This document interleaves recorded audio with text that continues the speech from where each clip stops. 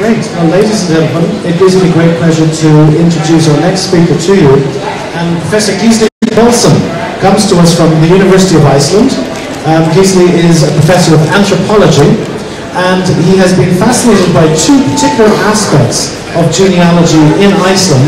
The first is the Book of Icelanders, which uh, was an amazing online tool that connected all the various pedigrees of Iceland, many of which go back to about 900 AD.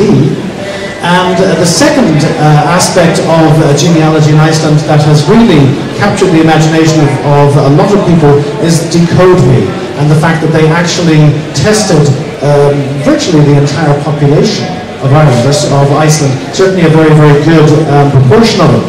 And today uh, Gisli is going to talk to us about um, Hans Jonathan, about reconstructing the uh, genome of a Caribbean runaway slave, and as well as that, uh, the Book of Icelanders, Decode Me, and the parallels between Iceland and Ireland and the way that we approach genealogy. So this is going to be a fascinating lecture. Ladies and gentlemen, please give a big warm welcome to Gisli Pálsson. Thank you very much.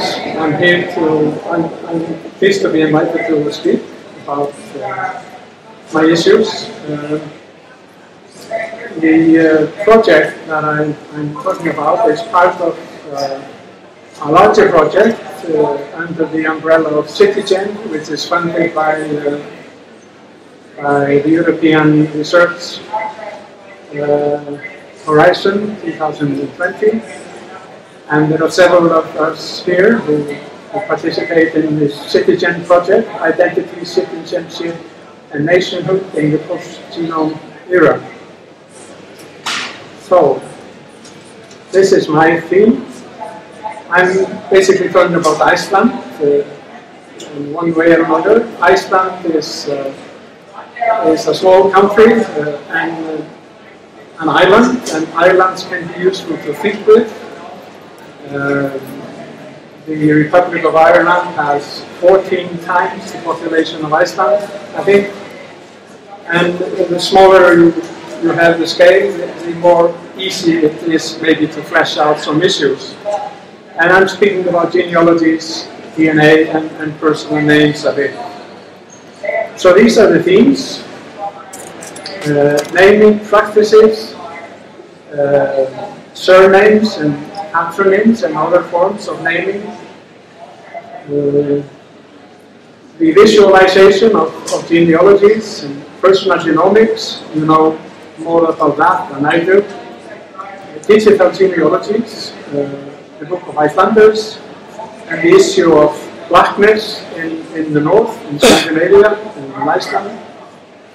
And at the end, I will show a brief uh, trailer a, from a documentary about uh, a guy named Hans Jonathan, who was a Caribbean slave who settled in Iceland in, in 1802. So here's the geographical context.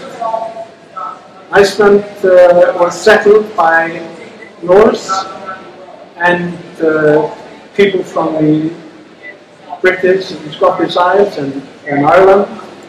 And DNA research uh, shows that the male DNA is typically from Western Norway, while the uh, mitochondria, the female contribution, is typically or heavily from, from Ireland and the British Isles. Uh, the Norse went uh, westward in the 9th or 10th century uh, to Iceland and, and on to Greenland and uh, down south to Meadow at least. And, and there was some speculation early last century that the Norse had uh, mixed with the Inuit. And uh, so the, the genome could be pretty wide if there's any evidence to this. Um, I organized a project uh, with a biological anthropologist to study the Inuit genome. Although I'm speaking about Iceland, I'm, I'm squeezing in Inuit because it's interesting in several ways. And this is a, a small community, Cambridge Bay in Nunavut in Canada, with only 1,500 inhabitants. And it's somewhere here, part of a Canadian state. And uh, in order to be able to do our uh, biological genetic study, we had to uh, negotiate with elders in the Inuit community because they are the informal power and we had to present what we wanted to do and, and again the results afterwards. And, and, this was quite interesting. Of course, we respected the protocols, the ethics of research. But here is my colleague, Agnar Helgason, uh, who works both at deCODE genetics in Reykjavik and, and, my department in anthropology. And he's presenting the results to uh, the representatives of the elders in this tiny community. And it was interesting for many reasons. Uh, for one thing, the Inuit were pleased that there was not a tinge of evidence to the statement that there was a Norse mixture. They were pure Inuit, had nothing to do with Scandinavia. And uh, secondly, it was interesting how difficult it was to explain DNA and genetics to these people who had no, uh, no uh, uh, probably no formal schooling after the age of, of 10, 12. And here's my colleague trying to explain to them.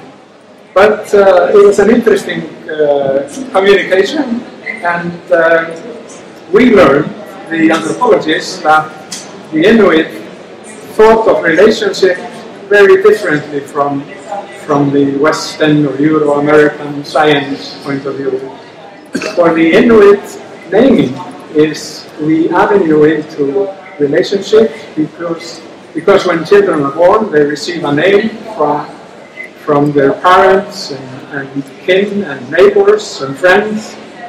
And these sets of names that the individual requires form in the Inuit understanding the personality of, of, the, of the, child and, and, the life course.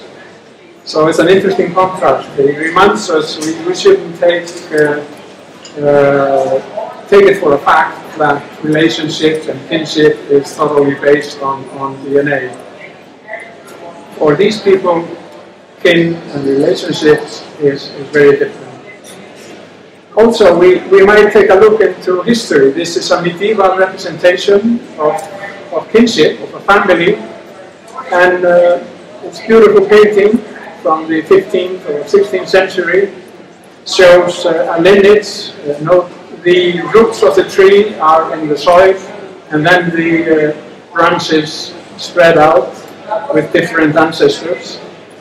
And the tree is a quite common metaphor. We see it on in the hallway. Family is tree.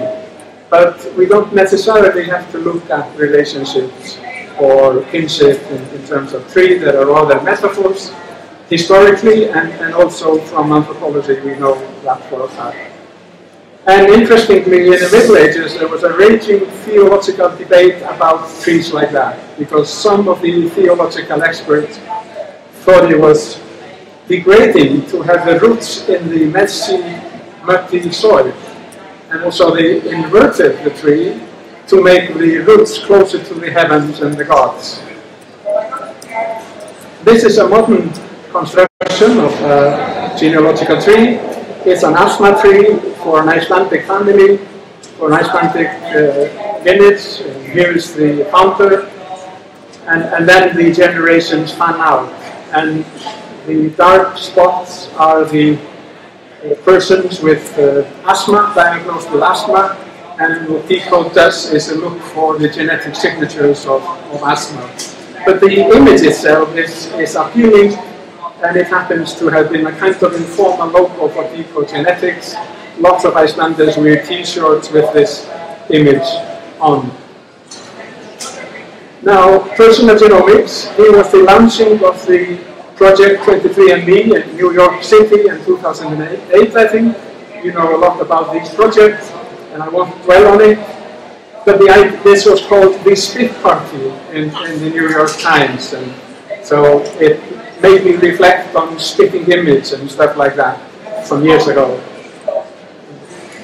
Decode Genetics in Reykjavik uh, uh, had a similar project called Decode Me, and in fact it was the first project of the kind. It's not in operation any long anymore, but uh, it was uh, quite an interesting project. And of course I signed that as an anthropologist, and, and I was promised two things. And, uh, information about, uh, I don't know, 40 or 50 conditions and diseases, um, the probability of getting asthma, for instance, and also an opportunity to look into my ancestry and, and the depth of my family tree. And uh, this was quite interesting in several ways. This was uh, 10 years ago. And for instance, I have no alcohol flush reaction uh, and a chance of Alzheimer uh, less than the average. And of course, this is based on, on reference populations and available medical studies at the time. And then there's ancestry. Uh, my, my ancestry is first and foremost European, but interestingly, secondly, Southwest Asian, and no one has been able to explain this to me, not even the experts who created this database. So it's still a mystery in the family. And uh, this is the European aspect. Uh, the second uh, connection, strongest connection given the reference populations, is the Orcadian, uh, Orkneys, Ireland. Not surprising. Um, uh, the second within Europe, etc. And this is my Southwest Asian past, whatever it is. Um, I don't think it means very much. Means very much. The, I would like to say more about the so-called Book of Icelanders. Uh, Icelanders have been genealogical enthusiasts from the settlement in the 9th century. And there is a rich literature on families and, and uh, we have lots of experts in genealogies, like you have here. But in uh, 2003, Decode Genetics uh, lined up with a software company, Frisk Software, to digitalize all genealogical records in Iceland from the beginning. And it's taken years and dozens of people to track down the archives and to add new members to the to the database. And I followed the launching because I found this an interesting uh, experiment. It's the first of its kind, a digitalization of genealogies for an entire country. And uh, the, uh, when they opened in 2003, the uh, reception was phenomenal. 18,000 uh, people subscribed or opened in, in a few days then it slacked off, and but remained fairly constant for months. And still, it's a it's a constant uh, traffic through the system, and most Icelanders have uh, subscribed. If you have an Icelandic social security number, you're entitled to join, and it's free. And so practically everyone can and, and join, and, and most Icelanders do. And it was interesting to follow the launching and, and Decode offered uh, people a chance to uh, comment on, it was not just information on trees, but also something on your personal life, and family, spouses and stuff. And uh, it was interesting to follow this process of communicating with the public and uh, uh, graciously offered me an opportunity to, uh, to read some of the uh, responses from the public, and I'll show you a few. Gosh, this is really exciting. I got thinking of this when I was having my hair dyed the hairdresser. On both sides were women saying, listen, my son-in-law turns out to be your husband's cousin, etc. Certainly all cocktail parties had been turned into family reunions.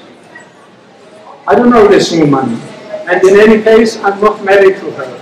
But if this indeed were the case, by all means don't tell anyone about it. My husband was listed as my partner. When I clicked on him, the name of his former girlfriend since college days appeared. Today we are married, and the only thing that my husband and his former girlfriend have in common is a dog that was executed in 1998. So I don't see any point in listing this woman here. I registered for the Book of Icelanders. According to the records, I have no parents. Am I at home? it would be fun to know what went wrong. So I explored my ancestry and, and my, my background. I was aware of uh, a few generations, but this opened a whole new avenue. And I can trace my, my origins back to the 1400s and possibly further back if I go into the archives. And it's an amazing tool. And uh, here's my mother and her lineage, and here's my father. And you see, this is my grandmother. She disappears into loneliness, and it's because she was Faroese, and she's, her, her background is not in, in the database. But uh, I can also check through the book of, Iceland, of Icelanders with any Icelander who's ever been around. And it's amazing. Uh, lots of Icelanders use that tool to explore. Before going to meetings, for instance, people log in and check uh, how is this person across the table related to me. And you will get in a split second exactly Usually it's a seventh or eighth generation because this is a small, small population. And there have been bottlenecks in history because of the eruptions and plagues. So most people descend from the same ancestors. Anyway, this is a kind of side issue. Uh, the uh, Book of Icelander, Icelanders and, and the tools I've talked about so far allow you to uh, explore your connection with, with uh, Scandinavians, typically.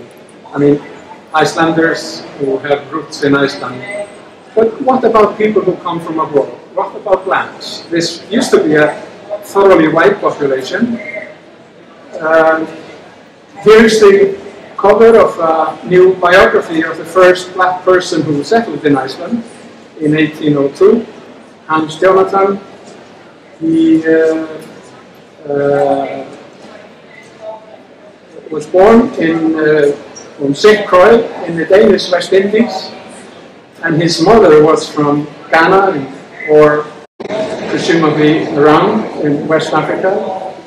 Uh, and uh, at the age of seven, the boy was he was uh, a slave, like his house slave, his, his, his mother and he was sent to, get to Copenhagen with his owners, the Schimmelmann family, who owned thousands of slaves and plantations. And uh, he, the boy escaped. He was rebellious and uh, clever and spoke seven languages apparently. And he escaped from Copenhagen to Iceland uh, because he was not satisfied with the legal verdict in a famous court case that sentenced him to remain a slave. This is a plantation on uh. Croix where he was born. We have the records of baptism and, and we also have the dozens of pages from the famous court case in Copenhagen, which is part of the uh, important material that I was able to draw upon. And this is a place where Hans Jonathan settled in 1802. He arrived through the Danish trading store there in eastern Iceland. And uh, the building where he worked, part of it stands here under a beautiful mountain. And uh, here he spent the rest of his life. He married an Icelandic woman uh, in the neighborhood, and they had two kids and their descendants are now 1,000 or so. Mostly in Iceland, but uh, quite a few abroad as well. This is uh, his one of his grandsons, uh, Björn Eriksson, and he's said to have been the spitting image of the old man. But the old man died before the birth of, of photography and there's no drawing, only a few handwritten documents by him. So he was, he looked like this one in phenotype. Now, here I'm checking through the Book of Icelanders I told you about earlier. I can check my relationship to the descendants of Hans Jonathan by asking the, the machine to tell me how I relate to Catherine Antoniusdóttir, who was the wife of Hans Jonathan, born in 1798. And this is the result. I'm here, and uh, here's the, the guy, Björn Eriksson, whose picture you saw, and his grandmother.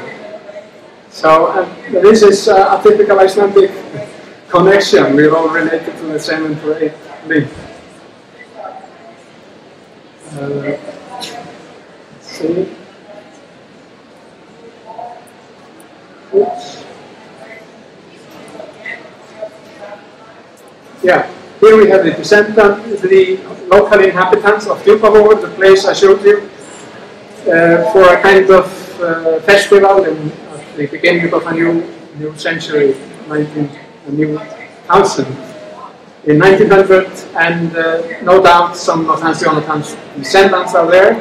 The interesting thing is that Hans Jonathan didn't experience any racism as far as we know. He is uh, remembered as, a, as an honorable trader and, and playing fair and, and respected for preaching uh, against alcohol and, and teaching people uh, navigation and stuff like that. Uh, so, Icelanders, the local inhabitants, probably saw him as somewhat different from themselves, but maybe just like a farmer from the next community. Uh, things changed in, in the early 20th century because of uh, growing independence movement, which emphasized the purity of the Icelandic population, uh, which emphasized the uh, origin of Icelanders, the Viking heritage, and uh, the fact that 13th, 12th, 13th century Icelanders have, cre have created world heritage, namely the sagas, and uh, how could we uh, possibly uh, flag the black blood that came in maybe in the 19th century. Uh, and some of the descendants of Hans Jonathan say they would be quiet about their origin because black was not supposed to be around. And here's the family tree, Hans Jonathan and Catherine. And these are the African roots, African European, which we don't know much about. There's a debate about the paternity of the guy, and, but I elaborate on that in the book. And here are his descendants, and uh, way on, a thousand people. Um, here's a woman, uh, Roberta Eriksson Dolays, who came to Iceland in 1985 with her father. They had heard that they had an ancestor who lived in eastern Iceland and they came to explore their roots. And uh, they didn't learn much during a visit to the uh, community because few people spoke English at the time. But they went to the archives in Reykjavik and discovered that their ancestor, Hans Jonathan, was a black guy called a mulatto, mixed white and black, and that he had been a slave, the son of a, house slave descending from West Africa. So it, it was quite a, a, discovery for, for this lady, and she happened to be teaching Afro-American history in Boston, and she was stunned to, to learn that there was an African uh, Caribbean uh, element in her genome. Uh, now, this is the story of uh, the mapping of Hans Jonathan's genome. I won't say much about it, but uh, in a few weeks, uh, one of the major journals in, in modern genetics will publish a major uh, paper on the reconstruction of the genome of Hans Jonathan. And it's groundbreaking in several respects. For one thing, uh, in this case, you don't have any biological sample to draw upon directly from Hans Jonathan. We know roughly where his graveyard is, but we don't know the gravesite, or, and there are no bones or nothing. But uh, dozens of his uh, descendants in Iceland are in the database, the genetic database of deCODE genetics, and, and the, uh, the uh, black uh, signature stands out in the, in the records because there was no, practically no uh, black immigration before Hans Jonathan. So by pulling the uh, analysis of the genome of these descendants, they're able literally to reconstruct part of Hans Jonathan's genome. Um, so that's kind of fun. And secondly, this project is aiming to uh, establish roughly uh, where in Africa his uh, Hans Jonathan's mother came from. Uh, the historical records would, would tell us roughly, I mean, uh, the Danish trade vessels sailed from the Gold Coast in Africa, but uh, the slaves would arrive to the coast from different parts of, of Africa, Western Africa. So uh, ideally this project would uh, establish uh, better than the uh, historical records where Hans Jonathan's mother came from and her ancestors. Uh, I can't tell you more about the paper and its results. I can only say that I think it will be groundbreaking and exciting and to, to see how, how genetics and genealogy and, and uh, archival work in my case can fill in the picture. Interestingly, one of Hans Jonathan's descendants, Ingvar Peterson, who is one of the directors of Nintendo in, in Seattle in the United States, decided to sign up for 23andMe. He was born and, and raised in Iceland, but he lives in Seattle, and both of his parents are Icelandic, so he was exploring his own roots. He knew about the African roots. So 0.7% of his uh, genome are sub-Saharan, and here are the reference populations. Uh, I think he had this done uh, a couple of years ago. And another, this is 23andMe. It's a bit blurred, but uh, you know how this works, and it's interesting to see an Icelander do this test to explore the black heritage. So I won't say much more here. I hope I haven't taken too much of your time. And, and now we have a few minutes uh, on a new documentary trailer uh, about the life of Hans Jonathan and, and the visit of some of the descendants to uh, uh St. Croix in the famous now American West Indies. Let's see how it goes. Can you play with the lights?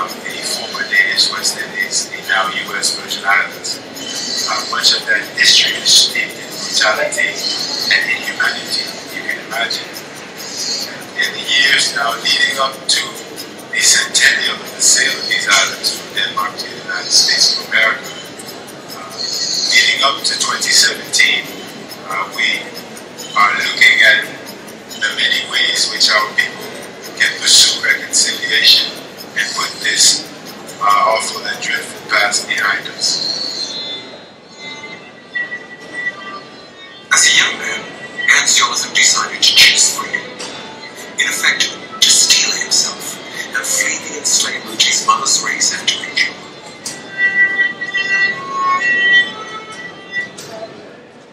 Excellent. Um, ladies and gentlemen, Gisli Palsson. Thank you. Now we have uh, time for uh, some questions, and um, I'm just going to put up the last slide that we had there. And in fact, um, oh, that was the, yes, let's go to these slides here. And I'd like to go back to the one that you have about the uh, book, which is, uh, um, I'm reading it at the moment. It's a very well-written book, um, very interesting reads. I certainly recommend it to anybody. The Man Who Stole Himself. Um, and it's, it's going to be of, of incredible significance to us in the gene- genealogy community. The work that you're doing is, um, sorry, groundbreaking. I'm going to stand a bit over here just in case it's interfering with that microphone. But um, questions for Gisli? Let me hear. Curious about any Y DNA testing done to find the origin of the father of the uh, St. Croix mother from Ghana? Yeah, thank you. It's a, it's a good question. Um, I've been puzzled by the by the question of of, of the father. Um, the uh, records say Emilia Regina, his mother, was uh, born on a plantation, Constitution Hill, the property of Heinrich Schimmelmann. Uh, the father is not reported, but rumor has it that it was the secretary. So this is the record, and uh, people have been puzzled for years what it means. But uh, I'm uh, collaborating with people at deCODE on, on genetic testing uh, in order to try to, uh, to say something meaningful about the paternity issue. I discussed three hypotheses in the book. Uh, two have been kind of rumors for decades, but I offer my third hypothesis on the basis of the only written evidence we have, namely the, the baptism record. And I managed to get three DNA samples in, in Copenhagen from uh, two from one, one of the candidates and, and one from the second. And I was negotiating uh, having a sample from uh, one of the Schimmelmanns, which is, uh, I think, the second most likely candidate. And uh, after some discussions, they refused to collaborate, uh, which was very sad. But uh, it's, it's partly because the Schimmelmann family has been enmeshed in debates on slavery. They have thousands of slaves, and, and uh, they're well aware of the fact that uh, people are now requesting uh, some kind of reimbursements, or what you would call it some payments or support, as the representative Shelley Moorhead uh, indicated in the film.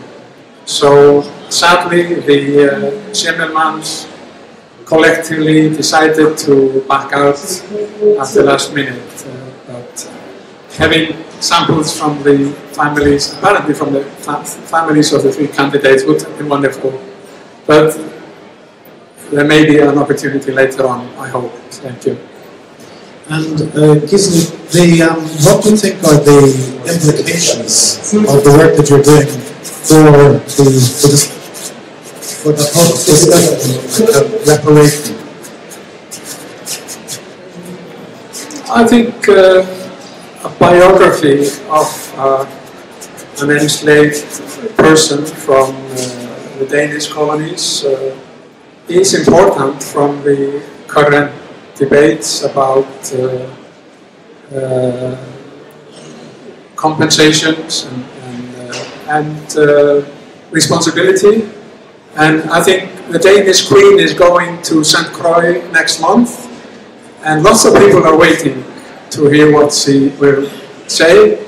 No Danish leader has formally offered an apology for one of the major slave trades in history. One of the, one of the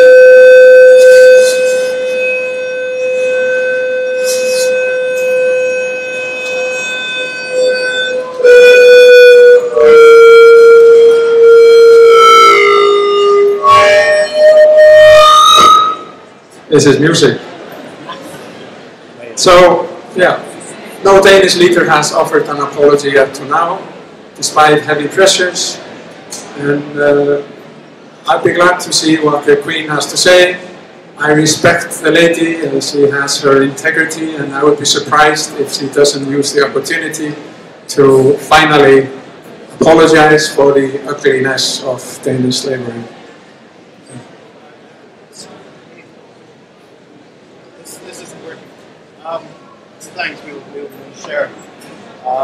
Sorry about the problem with the microphone. I think there's interference with the different uh, sound systems in the uh, in the hall. Um, yeah, I'm sure. I'm sure the, the work that you're doing is going to open up a whole new discussion about reparations and slavery, and uh, will bring a whole new perspective to the discussion. Now, uh, any other questions? We had a few here. I'm going to uh, bring this down to Roberta, and then I'm going to bring it back to you, Gisli. Will the DNA results are uh, Hans or his descendants be in any of the public databases like the the family tree DNA, Y DNA, or on a civil database for comparison?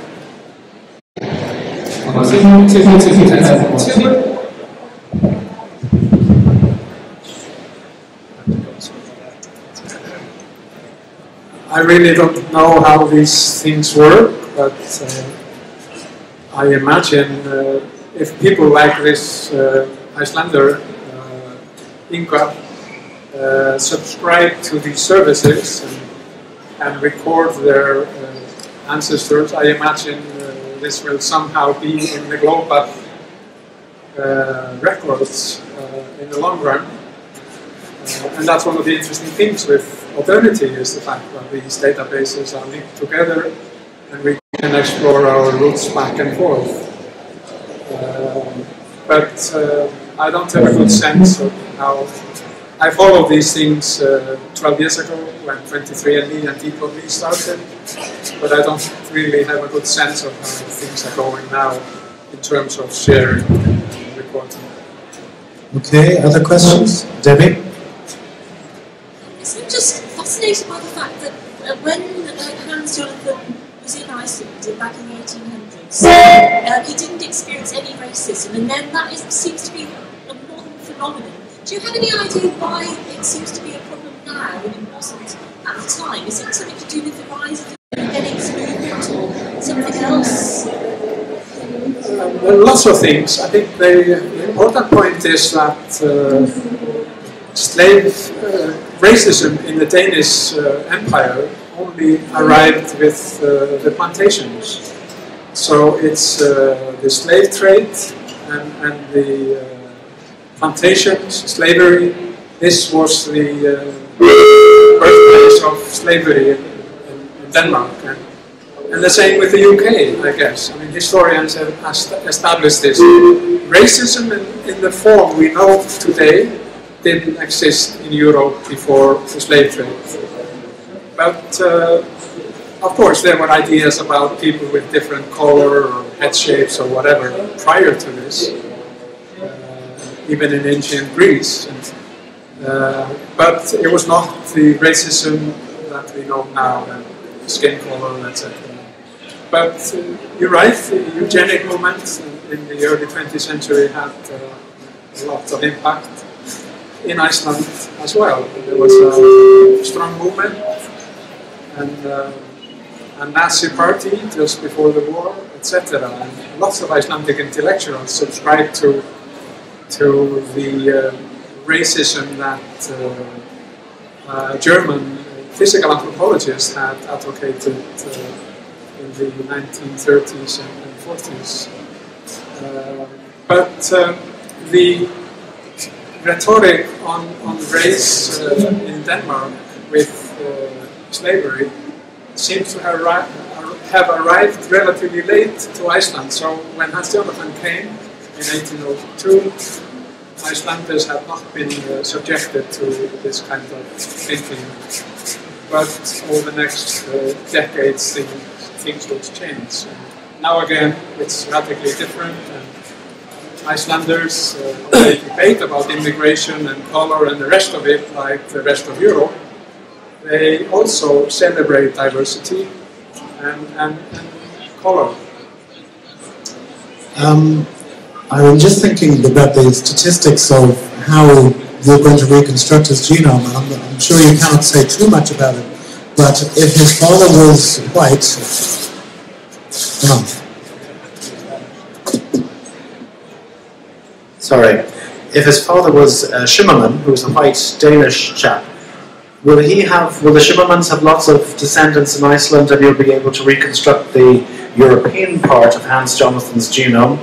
Whereas if he just had two sons and then they passed on his DNA, you're not going to get 100% of his African DNA. You're going to get uh, maybe up to 75% of it. I'm not sure. I don't know if you can say anything about that. I guess the establishing who the father was, it's interesting on its own for the sort of history and for the descendants. Finally, this is our map. But uh, I, I, really can't comment upon uh, on the details of the calculations. It's not my field, and in any case, it's too technical for me. And, and even, even though I have the figures, I, I wouldn't be able to make sense of them. Any other questions for, for Gisli? Okay. Thank you. We'll call it then. Thank you, Gisli Palsson.